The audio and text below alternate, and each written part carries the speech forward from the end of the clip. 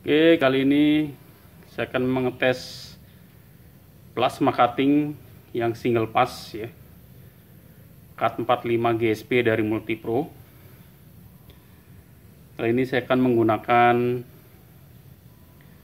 NCB yang 4 ampere atau untuk listrik sekitar 900 watt ya. Dicoba untuk menyalakan mesin cut 45 GSB. Apakah bisa digunakan untuk mesin ini dengan daya listrik sekitar 900 watt ya karena mesin las atau mesin plasma cutting ini menggunakan atau inputnya itu single phase dengan daya listrik kurang lebih sekitar maksimal tuh di 1300 ya atau 1500 ya. Saya akan tes minimum daya dari mesin las ini kurang lebih berapa watt ya apakah di listrik 900 bisa di listrik rumahan ya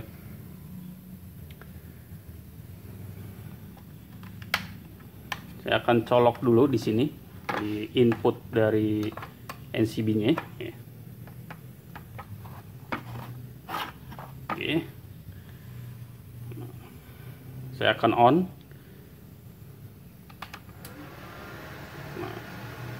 Secara startingnya atau inputnya ini tidak masalah ya atau tidak turun ya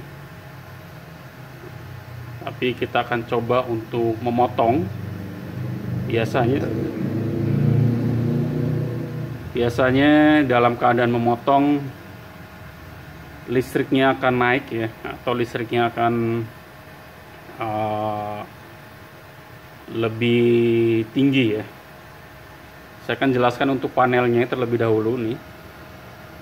Panel dari plasma cutting ini ini sebagai air clamp ini switch untuk tosnya. Ini plasma tosnya ya. Ini untuk pengaturan ampernya. Pengaturan ampere dari pemotongan plasma cuttingnya ya, kemampuan potongnya. Nah di sini yang kedip ini ini namanya ready untuk potong ya. Terus di sini ada posisi otomatis dan posisi manual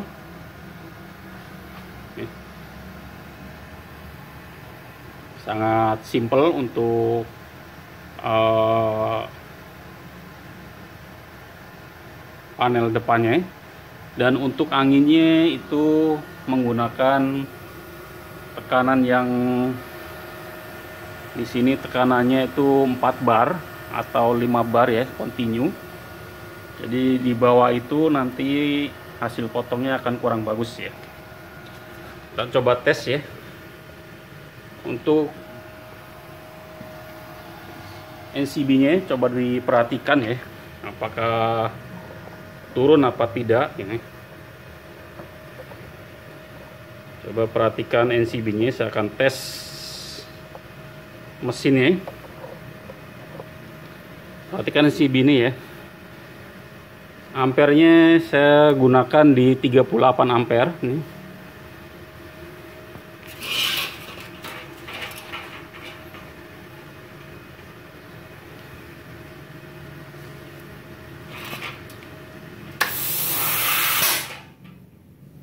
ya. Begitu saya tekan ininya tos ini ya nih. Itu NCB nya langsung turun ya. Langsung turun di sini ya. Tadi saya naikkan kembali. Ya. perhatikan ya saya tekan ini ya. Langsung turun ya. Jadi belum memotong. Begitu tekan switchnya ini langsung trip ya. Kita coba sekali lagi nih. Perhatikan ya ini listrik 900 watt ya. Listrik 900 watt. Listrik rumahan ya. Ya. Turun artinya bahwa mesin plasma cutting tipe cut 45 GSB ini tidak bisa digunakan di listrik 900 watt ya. Langsung trip NCB nya jadi tidak bisa digunakan di listrik 900 watt ya karena ini minimum pemakaian listrik itu sekitar 1500 ya.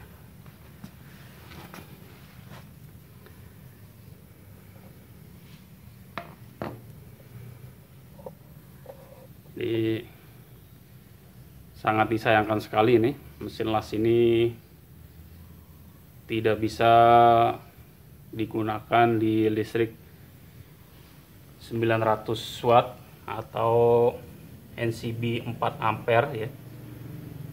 NCB 4 ampere. Jika kita lihat spesifikasi dari mesin ini ya. Kita lihat speknya ya. Di sini kita lihat spek dari mesin ini. Untuk daya listriknya ya kita lihat buku manualnya ya. Kita lihat buku manualnya kenapa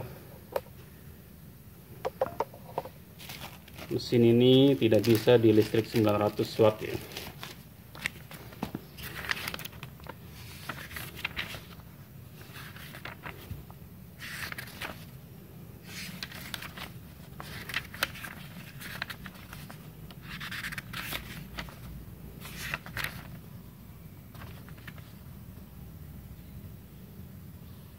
Ya, di sini untuk ampernya red inputnya ya.